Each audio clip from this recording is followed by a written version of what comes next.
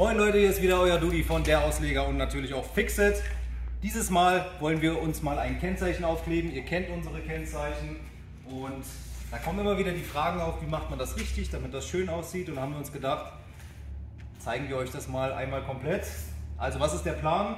Wir wollen dieses Kennzeichen, das sind individuelle Kennzeichen, die wir herstellen für unsere Kunden, nach Wunsch, mit Logo, ohne Logo oder auch individuellen Logos. Jedenfalls muss das jetzt auf Schlauchboot. Die erste Frage ist natürlich, wo muss das Ganze hin? Wir haben uns dafür entschieden, dass wir das jetzt hier knapp über dem, über dem Händelteil hier fixieren werden, so dass wir auch nichts hier abnehmen müssen, genug Fläche haben. Und im Endeffekt müssen wir jetzt erstmal reinigen. Wir arbeiten natürlich mit Fixit. Wir reinigen erstmal, wir kleben alles ab und dann zeige ich euch später an der Werkbank direkt, wie man das auch alles vernünftig macht. Jetzt fangen wir erstmal an. Wir versuchen das ganz schnell zusammenzufassen. Das ist auch nicht schwer, wenn man mit den richtigen Materialien arbeitet. Erstmal der Cleaner, logisch, den brauchen wir zum Anlösen. Bevor wir das alles abkleben, nehmen wir uns einfach Cleaner, ein sauberes Mikrofasertuch und wischen erstmal die Stellen komplett staubfrei und natürlich auch fettfrei, dort wo später das Kennzeichen hinkommt. Und macht das ruhig zwei, dreimal hintereinander, drückt das richtig in das Material rein, damit ihr auch wirklich nirgendwo Silikate habt oder Staub oder Dreck oder was auch immer. Das muss richtig schön angelöst werden und sollte entsprechend sauber sein. Würde dann so aussehen, das gleiche machen wir auf der anderen Seite. Doch jetzt geht es erstmal darum, dass wir uns die Maße abnehmen, damit wir keinen allzu großen Klebstoffüberstand haben. Und das funktioniert im Endeffekt so, ist immer die Frage, womit wollen wir anfangen? Ich würde sagen, damit von links nach rechts. Ich schätze, so sieht das ganz gut aus. Da braucht ihr auch nichts messen mit einem Bandmaß oder so. Ihr legt euch das einfach so hin, wie es euch passt, dass es alles schön in der Mitte ist und befestigt das dann vernünftig. Ja, ich würde sagen, das sieht ganz gut aus. Wir legen das direkt an die Kante vom Händel und die Einstellung speichern wir uns quasi erstmal, indem wir ein äh, Abklebeband draufpacken zum Fixieren. Und jetzt haben wir erstmal den groben Überblick und kleben alles vernünftig mit dem Abklebeband ab. Die Konturen mit einem Überstand von 2-3 mm, damit wir ähm, eine saubere Kante einfach später hinkriegen. Das machen wir jetzt. So, abgeklebt haben wir jetzt, wie man sieht, alles mit Überstand. Ich zeige euch das nochmal hier. Übrigens, hier unten wird das ein bisschen schwer abzukleben, ist aber nicht schlimm. Wir werden einfach von Linie zu Linie ähm, frei Hand arbeiten. Dafür habe ich mir hier äh, noch einen Strich gesetzt. Ganz einfach die Punkte quasi verbunden, das reicht auch aus. Da unten wird man eh nicht mehr viel sehen. Ansonsten werdet ihr jetzt sehen, wenn man das jetzt hier mal anlegt, dass wir überall überall einen Überstand haben von ja, 2 bis 3 mm, je nachdem wie ich es hinlege. Und das müssen wir dann natürlich später, das wird uns helfen, wenn wir das dann hier aufrollen von einer auf die andere Seite, dass wir immer in diesem Feld drin bleiben zum Kleben. Wir haben jetzt wie gesagt das Boot soweit vorbereitet, jetzt müssen wir die Kennzeichen vorbereiten, entfetten, was wir auch noch gemacht haben. Äh, einmal mit einem Feuerzeug kurz an den Kanten lang gehen, damit die ganzen Phasen, die abstehen, ähm, abgeschmuggelt sind, ganz kurz nur. Jetzt mache ich folgendes, damit ich das alles auch sauber clean kann und kleben kann, ohne dass ich die bedruckte Fläche dreckig mache. Lege ich mir das alles so hin, erstmal, und klebe dann quasi die Kanten sauber mit unserem Abklebeband ab, was ich dann auch später relativ gut wieder abziehen kann. Ja, das reicht komplett, wenn wir das ganz leicht einfach nur drauf drauf raufbatschen und wie gesagt, es hilft uns einfach da, da, äh, dabei, dass der Kleber hier nicht unterlaufen kann. Kann ich euch empfehlen. Ihr könnt natürlich auch aus der Hand herausarbeiten, ist kein Thema. Aber so seid ihr auf jeden Fall auf der sicheren Seite. Das mache ich viel lieber. Denn wie gesagt, die Planen sind nur gedruckt, das sind keine durchgefärbten Planen. Und deswegen können wir hier nicht mit dem Cleaner oder mit dem Kleber direkt auf die Oberflächen gehen. Da würden wir uns die Farbe natürlich kaputt machen. So, drücken wir das kurz an, ganz leicht und dann reicht das eigentlich schon. Ziehen wir das wieder ab von unserer Arbeitsplatte und haben hier jetzt eigentlich unsere saubere Arbeitsfläche, die wir nutzen können. Und so machen wir das auch gleich. Haben wir alles vor uns. Wir nehmen wieder unseren Cleaner, unser Mikrofasertuch.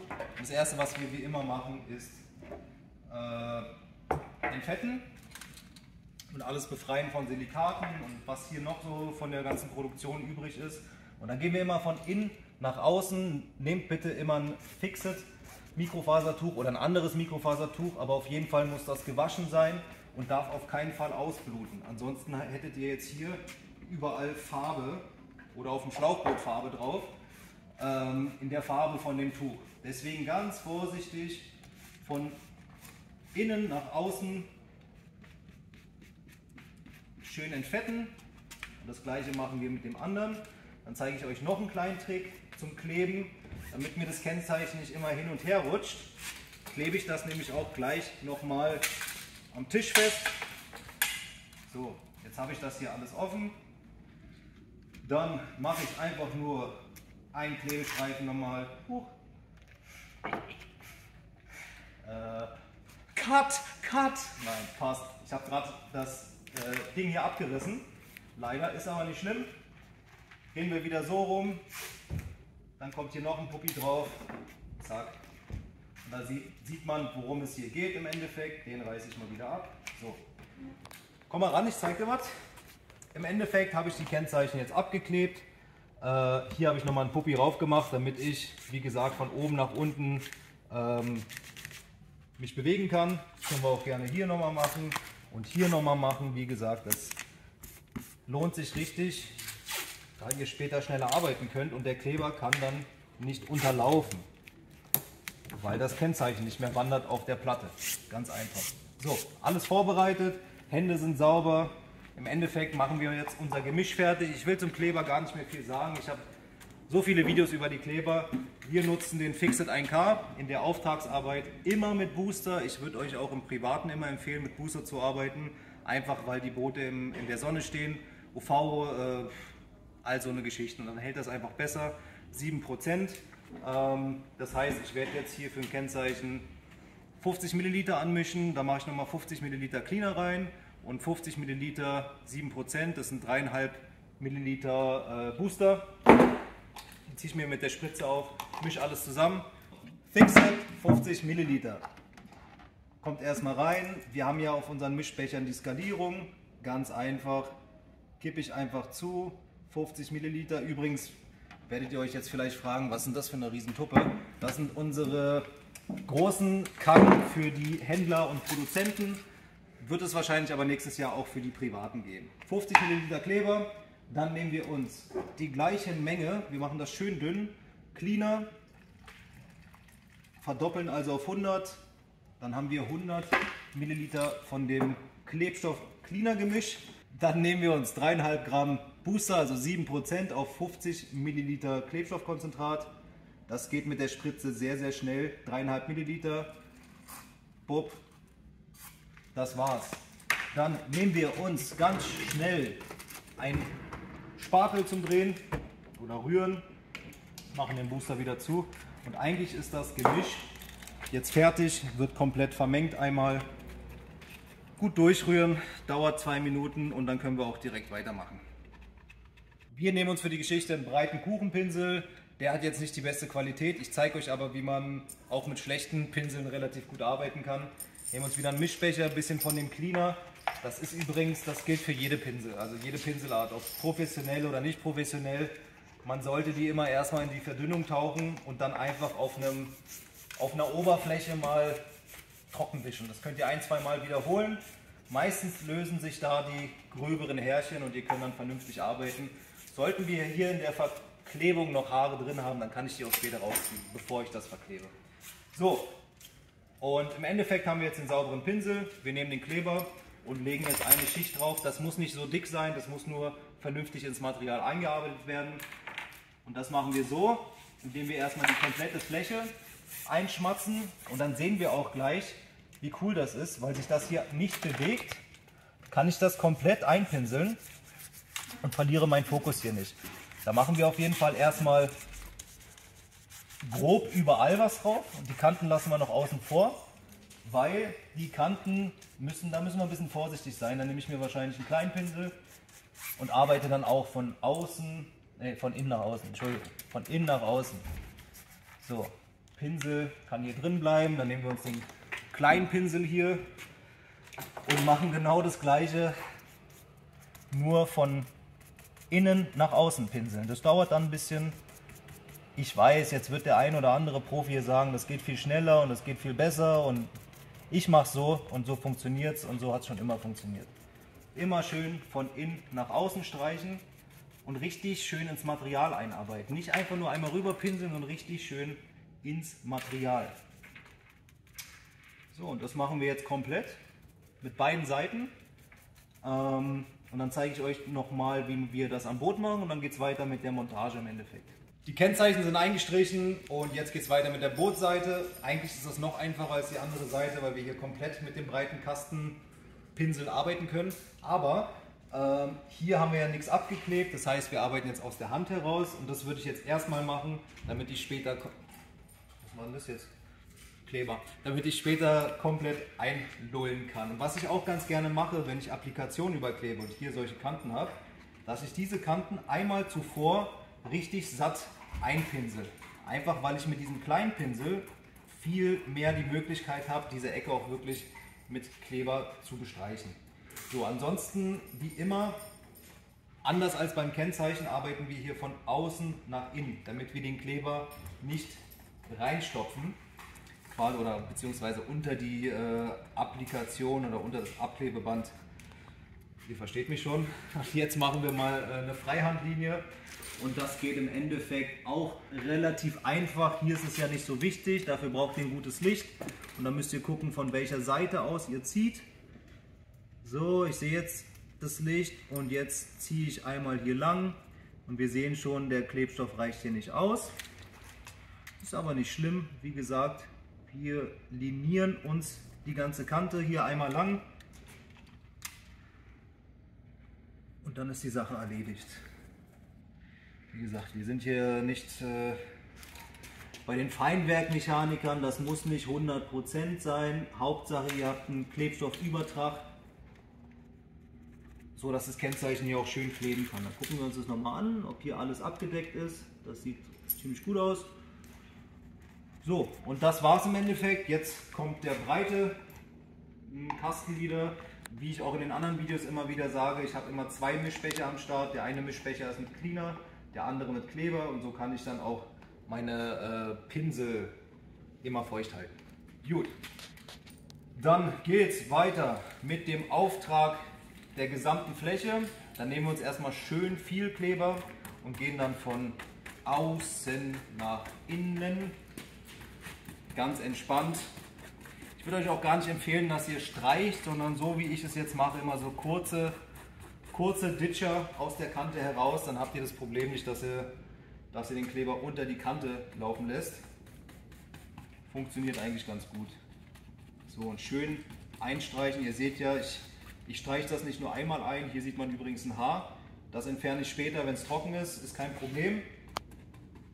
Dann arbeiten wir einfach von außen nach, nach innen. Ganz einfach. Schön einmassieren, die ganze Geschichte. Darf auch ruhig etwas dünner sein. Hier auch nochmal komplett einmal überstreichen. Immer darauf achten, dass der Pinsel nicht trocken läuft. Das spürt ihr dann, wenn der anfängt zu bremsen quasi auf der Oberfläche, dass ihr einfach zu wenig Klebstoff habt. Und gerade jetzt, wir haben, weiß ich nicht, über 30 Grad, das ist zwar schon dunkel, ist aber total schwül, was eigentlich nicht gut ist für die Verklebung. Äh, Luftfeuchtigkeit ist immer schlecht, deswegen werden wir jetzt mit dem Heißluftföhn auch nochmal arbeiten, um die Feuchtigkeit rauszubekommen. Sieht man hier übrigens auch an dem Kleber, der jetzt weißlich anläuft. Macht er eigentlich nicht, soll er auch nicht. Macht er aber, wenn wir sehr viel Wasser, also Luftfeuchtigkeit haben. Und deswegen werde ich hier nochmal sowieso mit dem Heißluftföhn rübergehen. Kleber hat jetzt fünf Minuten abge, abgebunden. Äh, Haare haben wir wie gesagt rausgemacht mit einem Cutter, einfach ganz fein drunter gehen. Da sieht man noch diese Striche hier. Ist aber nicht schlimm, darunter ist der Kleber. Jetzt müssen wir den Klebstoff reaktivieren nutzen das aber auch gleichzeitig wegen der Luftfeuchtigkeit. Man sieht ja, dass es so ein bisschen matt geworden ist und ihr werdet gleich sehen, wie die Feuchtigkeit rausgehen wird, indem der Kleber glänzt und aufhört matt zu werden. Und mehr müssen wir eigentlich nicht machen. Wir haben hier das eine Kennzeichen, das ist übrigens die falsche Seite. Äh, nehmen wir uns gleich das andere Kennzeichen. Ähm, machen beides warm und dann rollen wir es von einer Seite auf die nächste. Brauchen dann unsere Spezialwerkzeuge, Applikator und Andrücker. Auf jeden Fall den Andrücker, also hier die, die, die Rolle. Und ähm, den Applikator nutzen wir, um später die Kennzeichen in die Applikation reinzudrücken, in die Kanten. Genau, jetzt holen wir das andere Kennzeichen, machen alles warm und dann geht's weiter. So, jetzt machen wir alles schön warm. Niemals auf einer Fläche draufbleiben. Falls ihr noch kein Gefühl für das Material habt, könnt ihr wie gesagt auch gerne einen Heißluftföhn benutzen, den man einstellen kann. Und dann empfehle ich euch, dass ihr den so auf 160 bis 180 Grad einstellt. Da macht ihr nie was verkehrt. Ansonsten einfach mal die Hand draufdrücken und wenn man da so ein, zwei Sekunden festhalten kann, dann ist das ungefähr die richtige Temperatur. Immer schön rumkreisen, die ganze Fläche schön warm machen, schauen, dass das Matte hier rauskommt. Ich sehe jetzt schon fast keinen weißlichen Film mehr und der Klebstoff ist gleich auch wieder reaktiv. Äh, was wir machen, das Abklebeband lassen wir erstmal drauf, damit wir wissen, wie wir es kleben sollen. Ist einfach einfacher als Hilfe, als Lehre. Und wenn das Kennzeichen dann drauf ist, dann machen wir das einfach ab. Ganz einfach. Richtig schön Flamme drauf geben.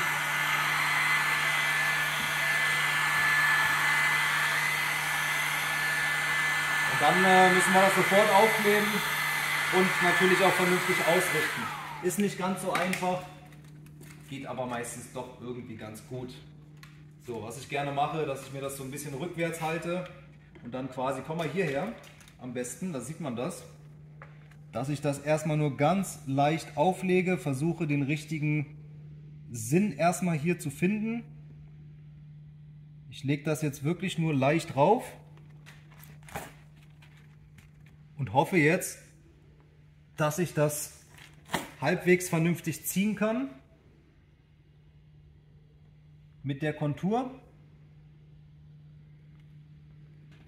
So, und dann streiche ich das ganz entspannt aus, damit ich auch keine Luftblasen drauf kriege. Roll das aber auch nochmal vernünftig aus. Das ist jetzt wirklich nur, um erstmal den Halt hinzubekommen. Das sieht ziemlich gut aus, prinzipiell. Und jetzt das erste, was wir machen, dass wir hier in die Kontur reingehen. Nicht zu doll. Ich hoffe, man erkennt das. Dass wir das erstmal schön anpressen hier an der Kontur, damit das optisch ganz nice wird. So. Und jetzt Machen wir Nummer 1. Nochmal ganz kurz warm machen. Komplett warm machen. Und dann mit der Andrückwalze, unser Andrücker quasi, nochmal richtig schön glatt pressen. Die ganze Luft rausdrücken, das Material schön sich legen lassen. Jetzt sehen wir auch, wie geil das ist mit dem Überstand. Wir haben jetzt 1-2 mm Überstand. Das können wir auch so lassen. Ich würde das gar nicht mehr reinigen. Und was auch sehr gut ist, wenn ihr das warm macht, lässt sich auch das Abklebeband besser abziehen. Ohne Rückstände. Schön spitz abziehen. Und ihr seht auch gleich das coole Ergebnis. Ja, schön sauber geworden. Das bereinigen wir gleich noch alles. Ich möchte jetzt die Fläche nicht auskühlen lassen wieder. So, das passt. Jetzt gehen wir quasi von der Mitte nach außen und drücken uns das alles schön raus. Dann sehen wir auch gleich, wie das quasi die Oberflächenstruktur von dem darunter liegenden Material annimmt. Immer schön ausstreichen das Ganze.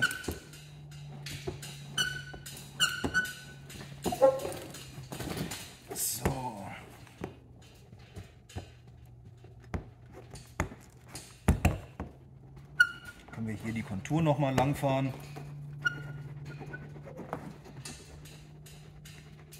Das drückt sich auch noch mal schön an. So. Das ist das Ergebnis.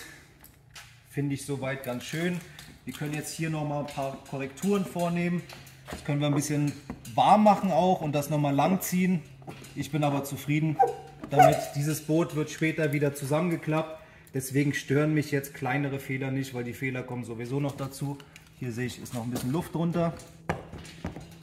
So Leute, eine Woche später, wir haben das jetzt einfach ruhen lassen. Äh, ihr seht ja, dass ich auch ein bisschen anders aussehe. Ähm, jetzt sind wir gerade bei der Abholung und ich stehe wieder mal vor der Kamera und zeige euch einfach das Ergebnis, beziehungsweise das habt ihr eigentlich schon gesehen. Daran hat sich jetzt nichts verändert. Das Boot ist weiterhin aufgepumpt gewesen. Kunde holt es jetzt ab, hat Spaß damit, hat sein Kennzeichen und das war es eigentlich. Wenn ihr auch so ein Kennzeichen haben wollt, guckt auf meine Seite, der Ausleger. Wenn ihr das selber kleben wollt, dann schaut mal bei Fixit vorbei. Ansonsten alles Liebe aus Berlin, aus der Marina Lanke. Peace.